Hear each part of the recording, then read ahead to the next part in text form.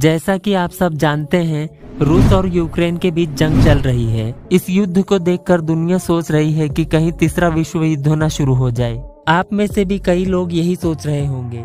लोगों की आशंका के चलते, अब लोग भविष्यवाणियों पर फिर से डिस्कशन करने लगे हैं।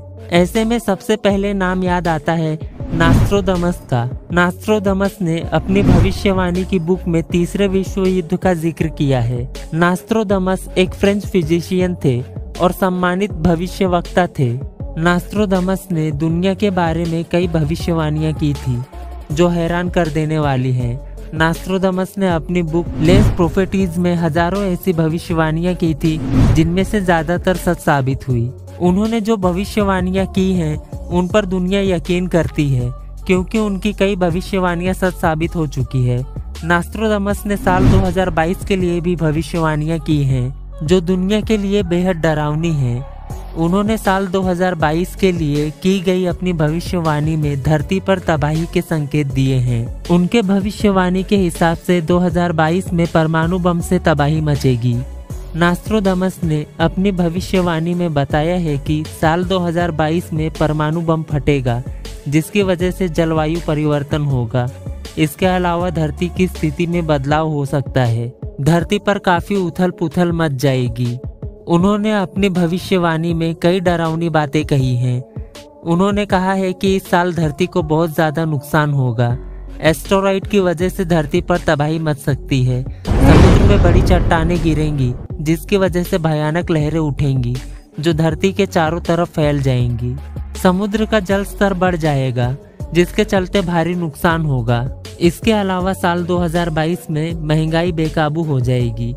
अमेरिकी डॉलर तेज़ी से नीचे गिरेगा। साल 2022 में लोग सोने, चांदी और बिटकॉइन को ही अपनी संपत्ति मानने लगेंगे। इसमें लोग काफ़ी पैसा इन्वेस्ट करेंगे।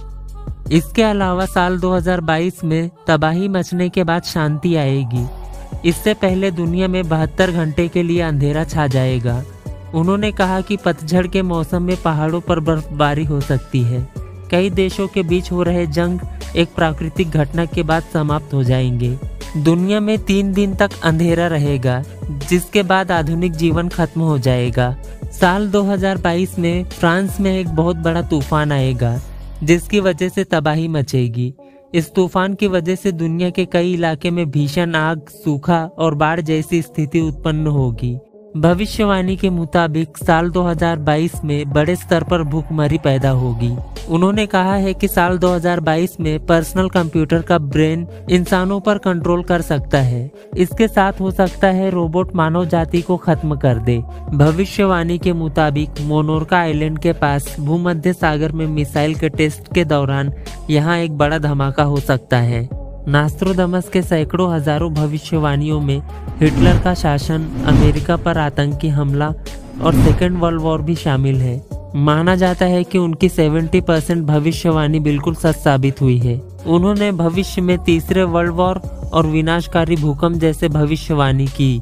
रूस और यूक्रेन के चल रहे जंग को देखकर ऐसा ही लगता है कि उनकी भविष्यवाणी बिल्कुल सही साबित हो रही है। आपको क्या लगता है, तीसरा वर्ल्ड वॉर होगा या नहीं? अगर जानकारी अच्छी लगी हो तो लाइक करें। अभी तक आपने चैनल सब्सक्राइब नहीं किया है तो सब्सक्राइब करें और बेल आइकन दबाना ना भूलें।